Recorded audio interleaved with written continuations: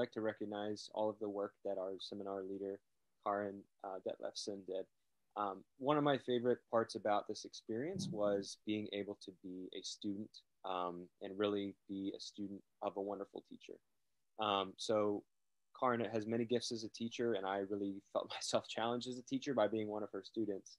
Um, you know, because having spent some time behind the curtain myself, um, just the way that she was able to lead discussion, um, the way that she was able to connect what we were doing in class to what we were doing um, as teachers. So many times we would show up to class and you know, small talk about the school day, and Karen would just sit back and listen and then inevitably one of the points that we raised about something in class or you know some district policy or what have you um, would make its way into discussion uh, you know effortlessly um, i also want to recognize how accommodating karen was um, over the course of these very tumultuous months um, where some of us were in school some of us were out and you know it seemed like the plan changed every couple weeks um, so you know karen always chose a really thoughtful selection of readings um, sometimes they were annotated in advance of, uh, uh, you know, so that we could really get to the heart of things um, if we were pressed for time.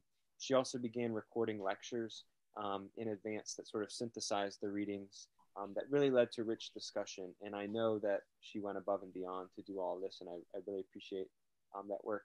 And finally, like all good teachers, um, she wasn't afraid to give criticism and feedback. And so the, the feedback that we got on our unit plans was really detailed and I think allowed everybody to um, really improve on the work that they were doing. So thank you to Karen. Uh, I've learned a lot and it was a privilege to be in this class. So in terms of the content of the class itself, um, as Edward said, the title of the seminar was about democracy and expertise in science, history, and literature. And so uh, being this that uh, we had a philosophy professor at the helm, um, you know, the first several weeks we spent on the fundamental question of truth um, exploring this through different angles. So, how do uh, people from different backgrounds define truth, whether it's truth in relation to history, truth in relation to art, truth in literature, uh, and how a, a uh, country like ours um, is actually a country of many different truths. And so we explore the relationship between truth and power, uh, truth and oppression as it's used um, and has been used in our history, and drawing connections to the modern day.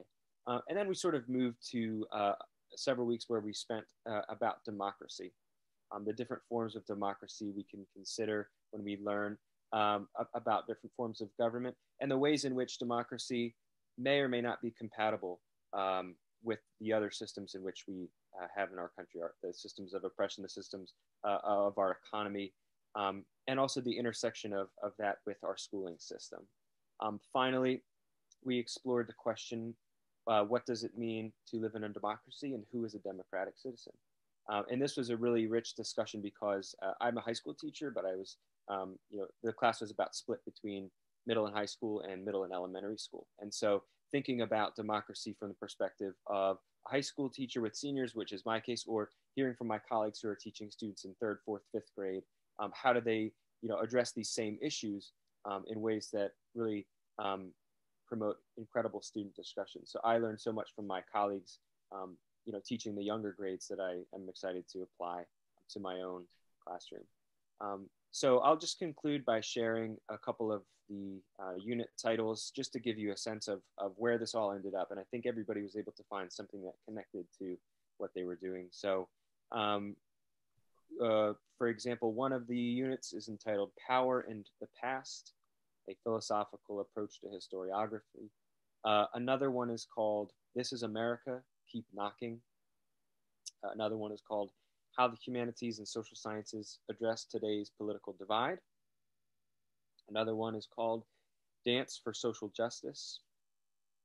Another one is called All Voices Heard. Uh, and so you can see just a range of different approaches to the content of the seminar, different ages. Um, and so the final thing I would like to say is just to thank my classmates as well. So in addition to Karen's um, expertise and real, uh, just amazing presence as a teacher, uh, I felt so much um, connection to my colleagues in the seminar. I could tell that they really were interested in hearing from each other, that they were really engaged in the discussion, and that when we were presenting units, etc., um, it was just all support, uh, and everybody was genuinely excited and also uh, inspired, I think, by what the other colleagues were doing. So with that, uh, I'll pass it back to Edward.